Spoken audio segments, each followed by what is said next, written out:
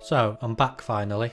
Hopefully you'll be seeing more of me now. I'm going to try and upload at least a couple times a month if I can. It's been five or six months since I last got out with the camera, so it's time for that to change. It's middle of spring usually would be the ideal time to start looking for insects. But we've had a week of heavy rain, it's very damp outside at the moment, so I'm hoping I'll be able to find some mushrooms instead. As many of you know that is my preferred subject. So let's see what I can find.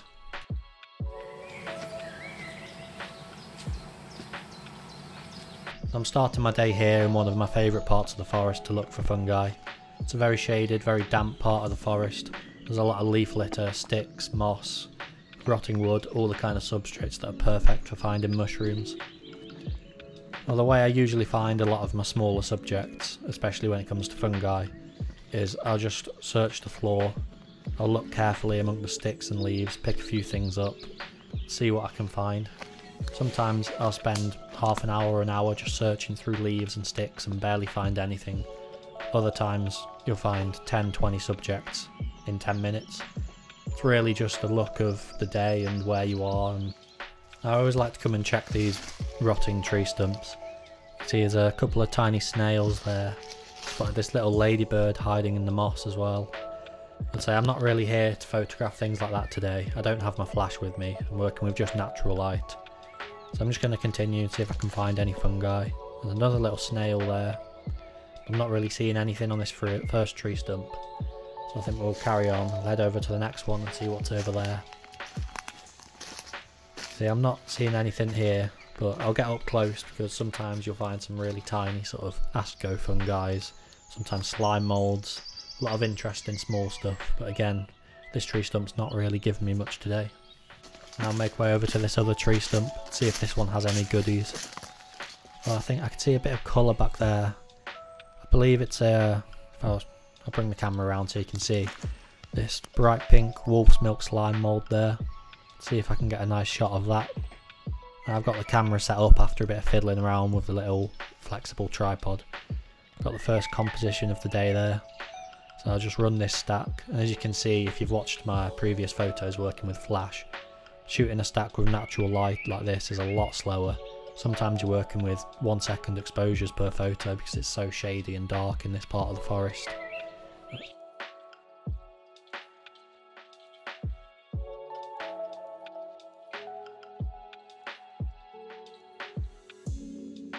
Now while I was taking those I've spotted this wolf spider carrying an egg sac over here. I know I'm not really here for insects and arachnids today but I don't want to pass up on the chance to get a photo of this. I've just about managed to get the camera in place without scaring it off. I think this is going to be quite a nice photo, I'm quite pleased it's sat still for this.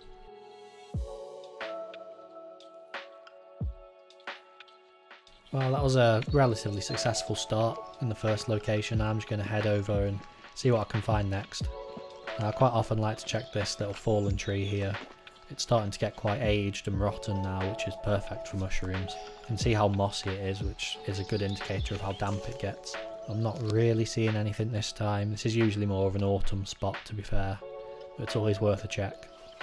Now we're in probably my favourite spot to come to when it comes to finding fungi and a lot of insects as well. It's this sort of ancient old growth forest here with a lot of old oak trees, a lot of fallen trees like this. You can see already there's some fungi growing on here. It's a bit too aged and in an awkward spot for me to bother taking a photo of it, but it's a good indicator that there should be stuff around. So I'll just start searching under the bark of some trees, searching under the leaves.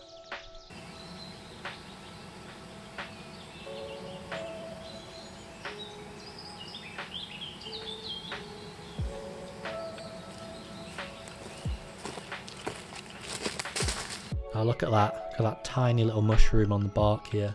And this is why it's worth sitting in one spot for a while, just looking carefully through every little piece of bark and wood and leaves. I can see I'm using this fallen tree as a bit of a perch to put the subject on. Allows me to get the tripod at a nice comfortable height. It also allows me to shoot a couple of different angles. I forgot to put the uh, focus stacking option back on on the camera here, so let me just put that on. Uh, you can see the first composition of this tiny mushroom there. I'll try a couple of different angles, see what turns out well, but I think this one should be a good one at least.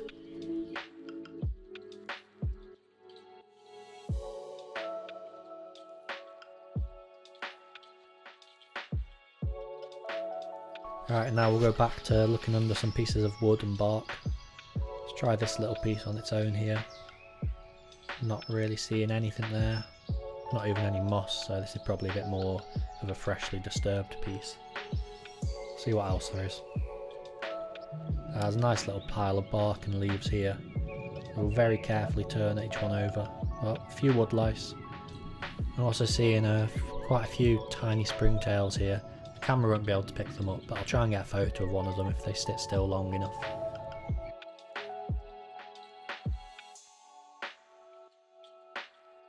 I think I just got a pretty nice photo of one of those springtails, so let's see what else I can find now.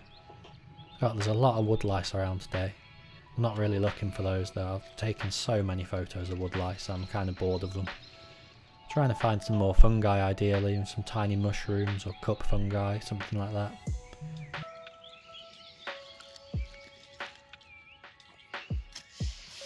I've moved over here, try some of these bigger pieces of wood. Oh, and look at that.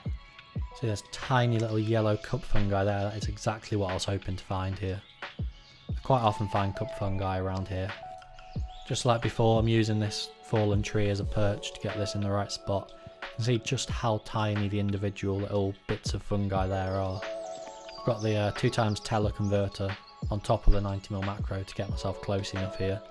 So now I just have to find a few different compositions, see what turns out good.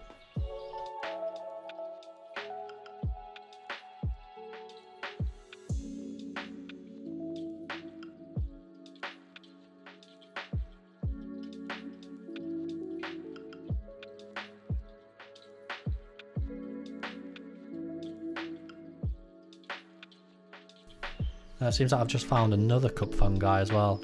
You can barely see it through this camera, but it's bright orange and tiny. It's quite well camouflaged against the orange tones of this bark. But I'll perch that here and try and get a couple shots of this as well. Now I'm now running the 90mm teleconverter and extension tubes. So I'm trying to get really close here. I've spotted one of the really tiny cup fungi with what looks like a springtail spermatophore on top of it.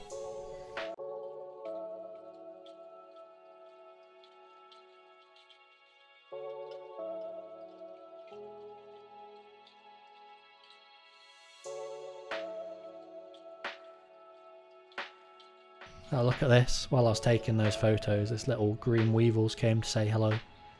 Obviously, I won't be able to get a shot of that as I've got no flash and it is very active, but it's always nice to see. I think this will be my last location for the day. I've had a pretty successful day given the time of year. I've just come to this little pine area here.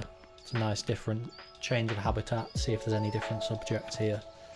I'm just going to search under these pieces of bark. I'm expecting to only really find insects now. I think there's not going to be any fungi around here.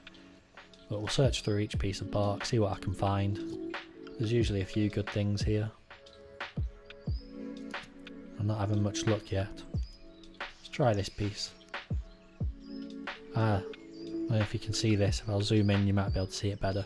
Tiny little springtail hiding in that crevice there.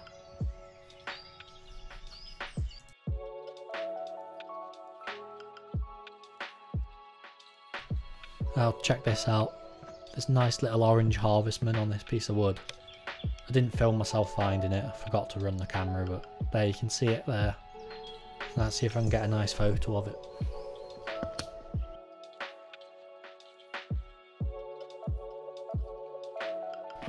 I think that's me done for the day now. Pretty successful day. I managed to get a couple more springtail photos, but I completely forgot to film any of it. I'll stick them in at the end here and then I think that's time to call it a day.